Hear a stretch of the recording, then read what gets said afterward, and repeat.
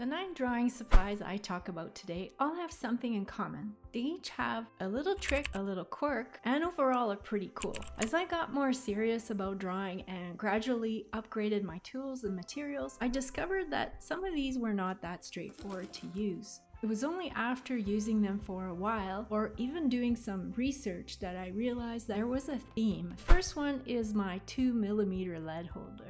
The name itself is quirky, Depending on which website you land if shopping online, it's sometimes labeled as a mechanical clutch pencil or pen holder with lead. Technically, this is a mechanical pencil. Let's just call ours a lead holder. The thick 2mm lead is protected within the clutch mechanism. It's less prone to break under pressure than a standard 0.5.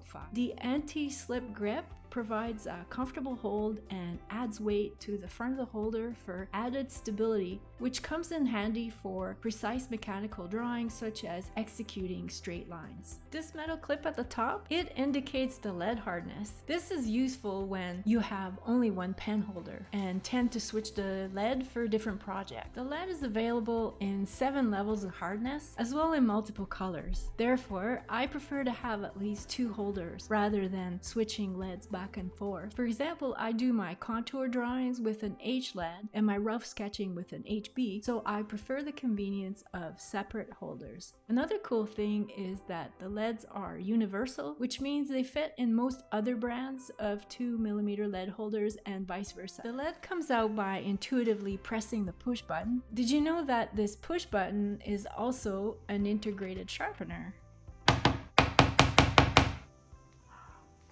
there's that. It turns out that if you happen to lose that push button, there's an emergency replacement included in a case of 12. That's what this orange cylinder knob thing is. The replacement push button comes with this case of refills sold separately from the tools that it's designed for. The case is tricky to open. The top slider has an arrow that you press down, so naturally you want to press on the bottom arrow to open that slider. It turns out the release tab is on the bottom of the case, therefore applying pressure from the bottom slides it open, not where the arrow is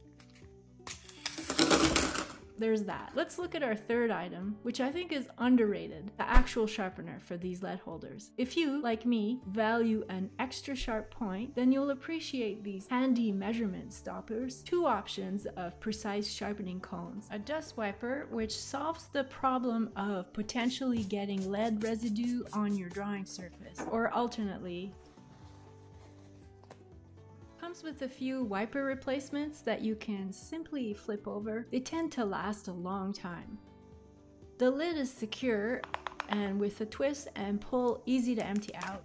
It has a nice weight to it, which I think is important for counterbalancing the load from the metal lead holder. And then there's this. Compared to a standard pencil sharpener, it really stands out design-wise. Not just great looking, it has high quality steel blades. I've been using it frequently for over two years and it still delivers on the promise of a consistently even sharp point. It's intended for color pencils and it works great with graphite too. The shape presents a nice grip when operating it and it's translucent so there's a quick visual of when it's ready to be emptied. It doesn't instinctively twist or pop off, that little divot in the front where you unlatch the cover doubles as a pressure point for releasing the top. It's a childproof cap. Erasers, I use two kinds. I use these sliding retractable stick holders. Here's the spot to press and hold the eraser in place for accurately rubbing off tiny details. We can visually see how much eraser's left. These stick refills, they come in singles or boxes.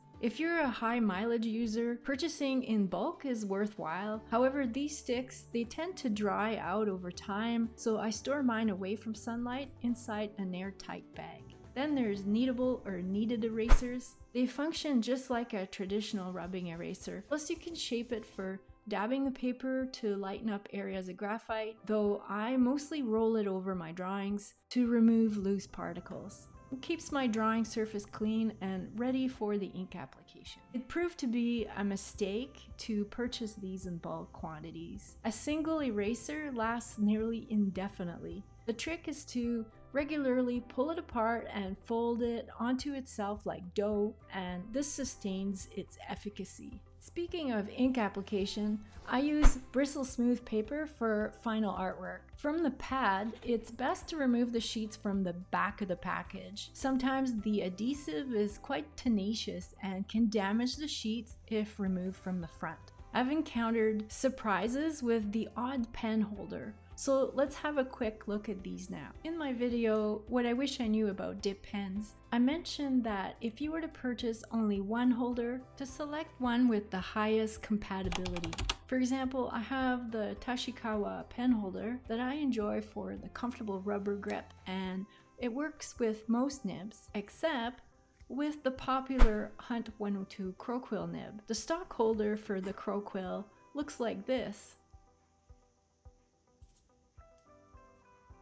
As a solution, many artists wrap sports tape, duct tape, or cork or other materials on the holder to improve the hold. Um, Maru nib Japanese pen holders like Zebra or Nikko brands are compatible with the 102 Crow-Quill. But just for fun, I asked Speedball directly if they would consider creating a classic straight holder for the Crow-Quill. This was the response.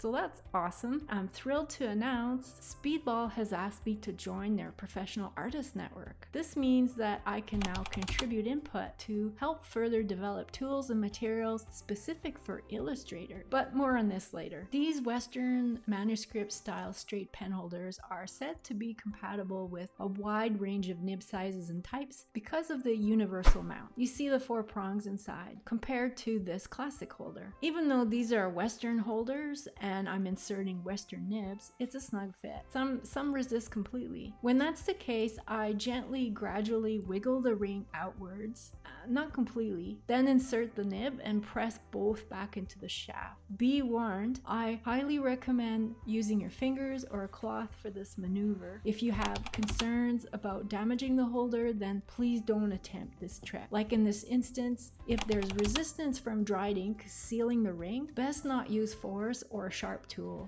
I hope that you found this tricks and quirks video helpful. If you'd like to see more on the topic of drawing supplies, please give it a thumbs up and I'll be happy to read your suggestions in the comments either for supplies to review or if you have product recommendations about illustration specific stuff. Thanks for watching and I'll see you in the next one.